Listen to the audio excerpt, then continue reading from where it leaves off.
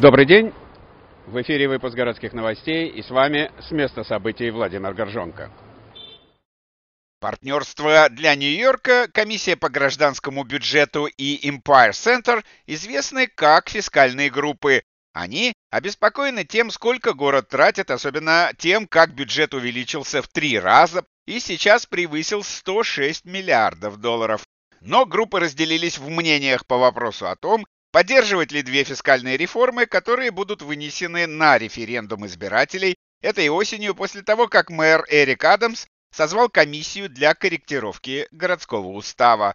Одно предложение потребует более ранних оценок финансового воздействия нового законодательства, а другое – ежегодной оценки состояния инфраструктуры города для информирования о будущем планировании. Бюджетные наблюдатели считают эти предложения временными мерами, которые вряд ли окажут существенное влияние на то, что, по их словам, ведет ко все более случайным городским расходам.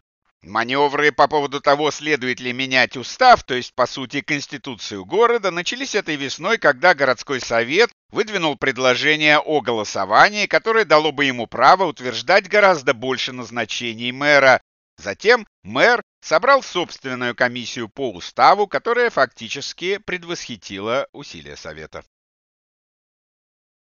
Семьи жертв терактов 11 сентября вернулись в федеральный суд в Нижнем Манхэттене, продолжая свою давнюю попытку привлечь Саудовскую Аравию к юридической ответственности за атаки на Всемирный торговый центр.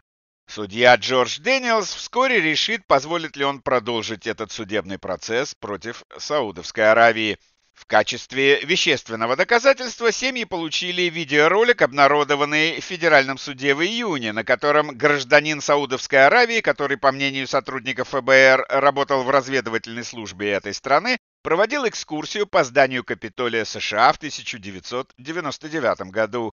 В ходе экскурсии были показаны система безопасности Капитолия, все входы и выходы, а также другие критически важные детали здания.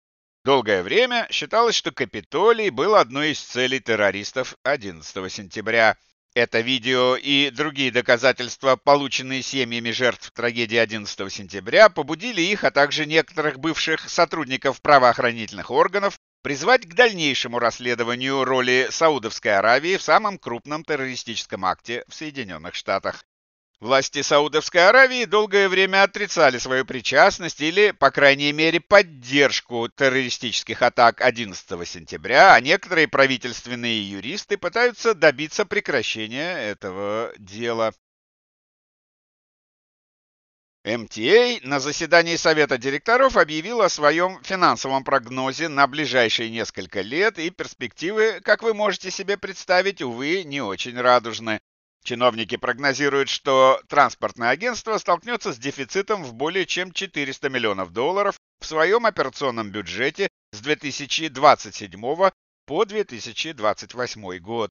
Хотя агентство заявляет, что это вызвано массовым уклонением пассажиров от оплаты за проезд и более низкими налогами на недвижимость, сторонники транзита обвиняют губернатора Кетти Хокул в приостановке взимания платы за проезд в Манхэттен, что привело к увеличению расходов на техническое обслуживание и более низкому, чем прогнозировалось, пассажиропотоку.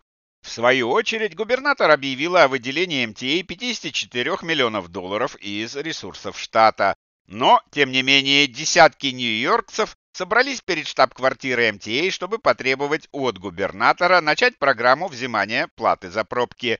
Они заявили, что обеспокоены тем, что в будущем без миллиардов долларов инвестиций в МТА жители Нью-Йорка столкнутся с повышением платы за проезд или сокращением обслуживания.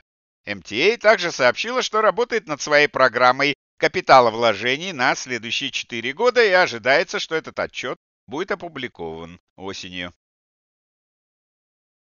Экологические группы Бронкса призывают замедлить план по добавлению полос на скоростной автомагистрали Кросс-Бронкс.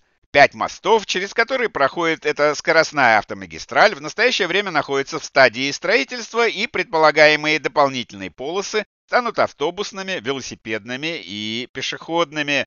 Группы говорят, что проект, объявленный губернатором Кетти Хокул в январе, планирует завершить дизайн модификации уже этой осенью без достаточного количества отзывов общественности о нем. Проект потребует четырех лет работы. Представитель Департамента транспорта штата Нью-Йорк Глен Блейн заявил, что проект является частью постоянных обязательств штата по восстановлению связи между сообществами, и он поможет преобразовать коридор Кросс-Бронкс Экспрессвей, обеспечив большую связь с востока на запад для всех пользователей транспортной системы, включая пешеходов и велосипедистов, и улучшив доступность общественного транспорта. Чиновники штата говорят, что дополнительные полосы уменьшат заторы, улучшат качество воздуха и обеспечат прямое сообщение с близлежащим парком Starlight, который в прошлом году был реконструирован за 41 миллион долларов и останется доступным во время строительства. Гигантский голубь высотой 16 футов будет установлен в парке Хайлайн в Манхэттене. Скульптура художника Ивана Арготе под названием «Динозавр» будет установлена на Хайлайн на 10-й авеню и 30-й улице. Динозавр добавит остроумия горизонту Нью-Йорка, сказала Сесилия Алимани, директор и главный куратор Highline Art. Но почему же скульптура называется именно «Динозавр»? Название «динозавр» отсылает к масштабу скульптуры и предкам голубя, которые миллионы лет назад господствовали на земном шаре, заявил скульптор. Динозавр был первоначально предложен для Highline в 2020 году и вызвал довольно противоречивые отклики. Многие жители Нью-Йорка заявили, что решительно не одобряют вездесущих голубей и не в восторге от их 16-футового скульптурного воплощения, Впрочем, другие выразили восторг от динозавра, заявив, что голубь – символ не только мира, но и нашего города, говорится в заявлении администрации Highline. Это был выпуск городских новостей, и с вами с места событий специально для телеканала RTN был Владимир Горжонко.